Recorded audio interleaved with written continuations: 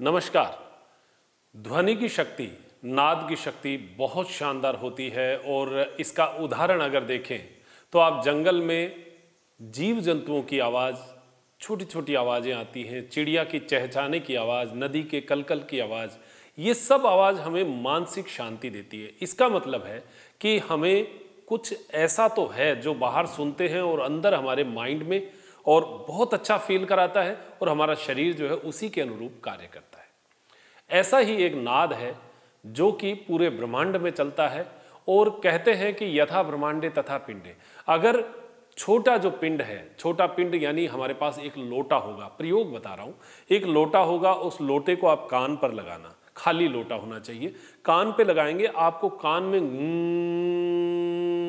इस प्रकार का नाद सुनेगा। अब ये नाद चाहे भारत में सुन लीजिए, चाहे अमेरिका में सुन लीजिए, ये नाद तो आपको उस लोटे में मिलेगा, क्योंकि ये ब्रह्मांड का नाद है और ये लोटा जो है, ये छोटा ब्रह्मांड है हमारे हाथ में, ये शरीर भी ब्रह्मांड है, इसमें भी ब्रह्मांड में जो चीज़ें वो यहाँ पर भी है। तो एक फ्रिक्वेंसी होती है, एक फ्रिक्वेंसी से दूसरी फ्रिक्वेंसी को जब मिल जाती है, जैसे वायरलेस में होता है तो एक दूसरे की आवाज़ का आदान प्रदान होता है। इसी ब्रह्मांड की उस नाद के साथ अगर हमने अपने शरीर का नाद को सामंजस्य बिठा लिया तो हम अपने आप को बहुत शांत और बहुत ही तनाव से मुक्त महसूस करेंगे। शरीर में तकलीफें क्या हैं कि हमारा डिसबैलेंस हो रहा है इस पृथ्वी पर, जो चराचर की जो चीज़ें हैं इनसे, ये जो हमारा डिसबैलेंस है, ये हमें तकलीफ़ दे रहा है।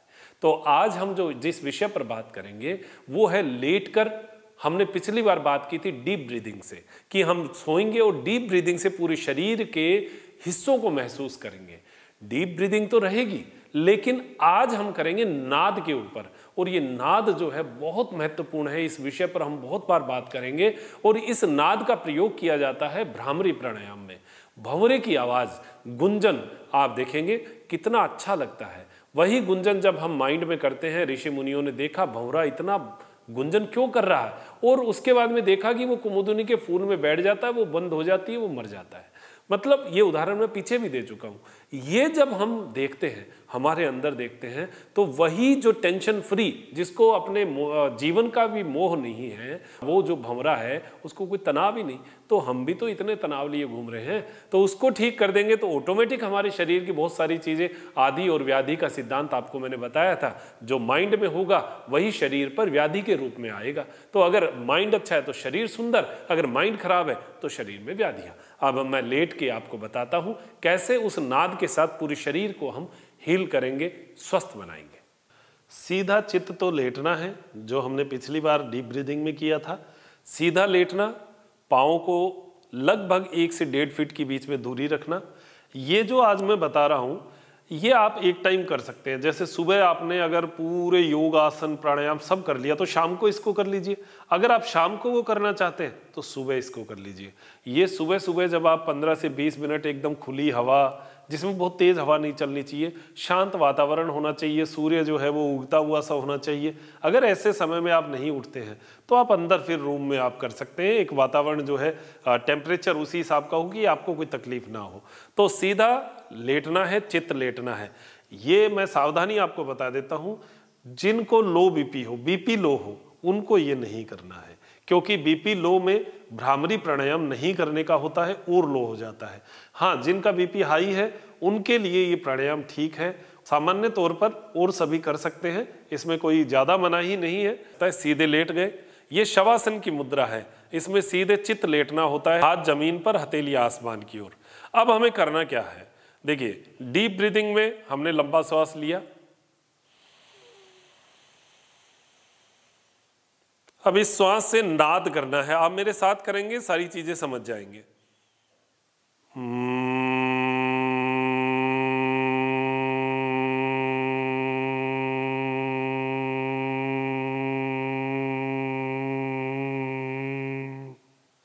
ये क्या था? हमने डीप ब्रीदिंग किया, लंबा श्वास लिया और भंवरे की आवाज़ करते हुए नाक से श्वास को बाहर निकाला। आवाज़ करते हुए। ये मुख्य बात है। ये जो नाद है ये एक सेंटर पार्ट से निकलता है नासिका के ऊपरी भाग से और हमारे मस्तक के मध्य भाग से। ये जब वाइब्रेशन पैदा होती है यही वाइब्रेशन मैंने आपको बताया था लोटे में होती है। लोटा हम कान पे लगाते हैं यही वाइब्रेशन महसूस होती है। हम उस वाइब्रेशन से इसको मैच करेंगे और बॉडी जो है वो हमारी चित रहेगी सीधी रहेगी। इसमें आ, किसी प्रकार का कोई मूवमेंट हमें बॉडी का नहीं करना है। बस ये नाद आपने शुरू किया अब बात कहाँ से शुरू होती है? आप इस नाद को जब पाँच बार बोलेंगे तो उसके बाद में आपको एक वाइब्रेशन यहाँ पर महसूस होनी शुरू हो जाएगी। अब आपको कंसंट्रेट करना है। देखिए, कंसंट्रेशन ऐसे नहीं हो पाएगा, क्योंकि आपको बाहर की आवाज़ें आ रही है। तो अब क्या करना है? कान को बंद करना। ऐसे लेटे लेटे हाथ जो है ऐसे रख लीजिए। एकदम आराम की मुद्रा है। किसी प्रकार की कोई टेंशन नहीं होनी चाहिए। कमर के नीचे, पैरों के नीचे किसी प्रकार की।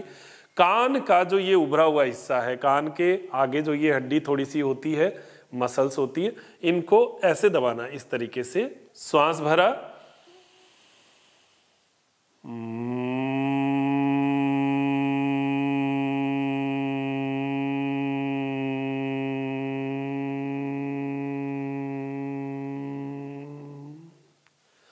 अगर अंगुली में जैसे, ऐसे कईयों को ऐसे प्रॉब्लम हो सकती है तो अंगूठा जो है इसका उपयोग करें। कैसे? देखो, इस तरीके से।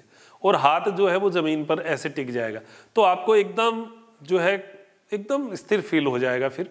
ये अंगूठा कान के इसे उभरे हुए हिस्से को ऐसे दबाना है, ऐसे। दोनों दोनों कान को।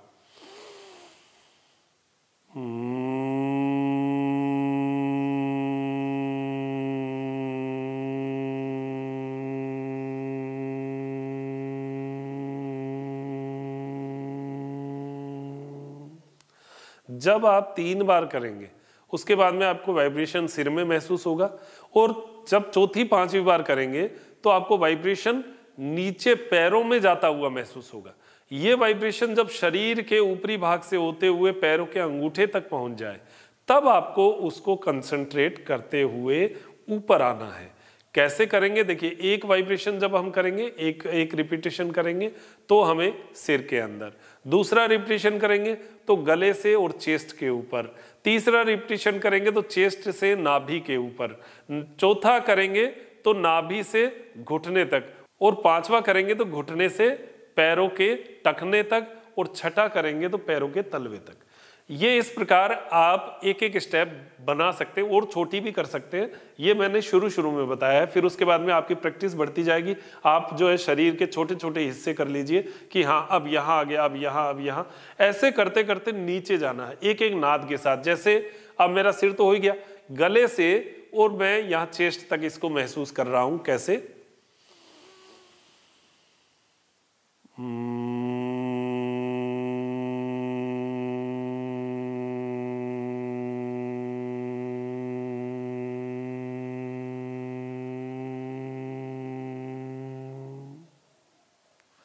अब चेस्ट से नाभि तक।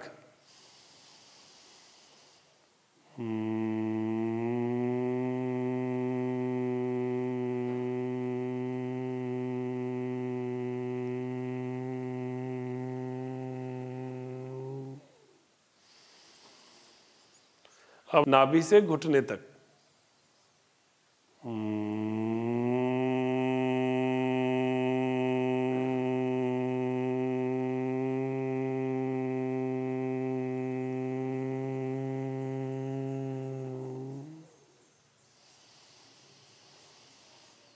घुटने से टखने तक।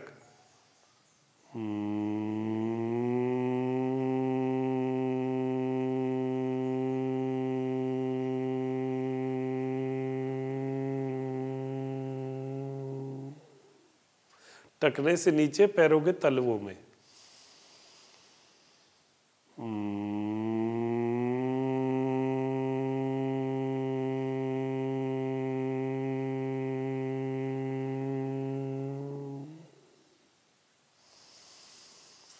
अब तलवों से ऊपर आ जाइए, टखने से घुटने तक।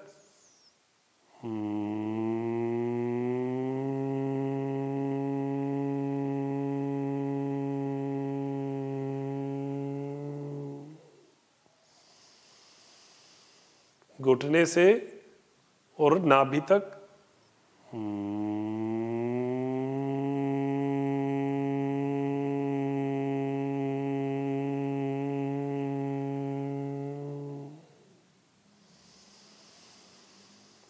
नाभि से चेस्ट तक सीने तक।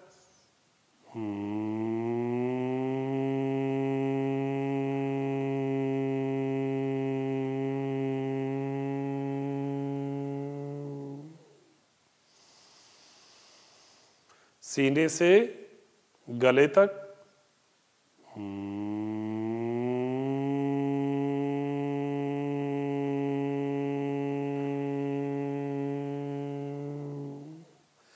पुनः मस्तक के भाग में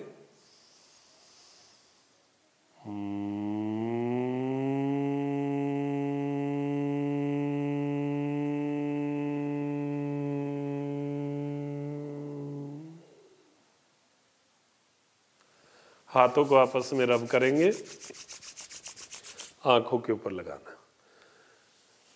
ये शुरू शुरू में हो सकता है दो से तीन दिन, चार दिन आपसे ये पूरी तरीके से समझ में ना आए। लेकिन नाद ही करना है, सीधा लेटना, ये दोनों ही बहुत आसान काम है।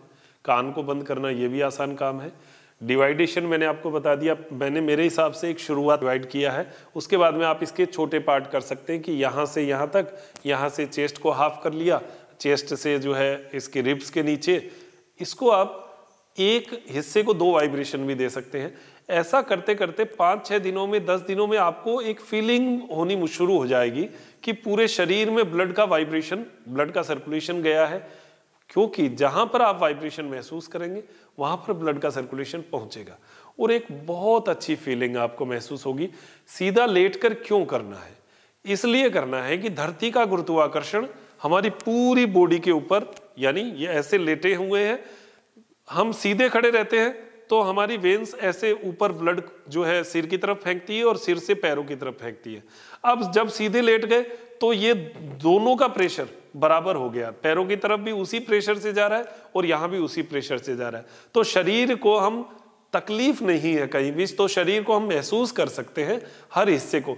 इसलिए ढीला शरीर को छोड़ते हुए इसको किया जाता है। ये ध्यान की एक छोटी सी प्रक्रिया कोई बहुत बड़ा ध्यान नहीं है, लेकिन एक छोटी सी क्रिया है।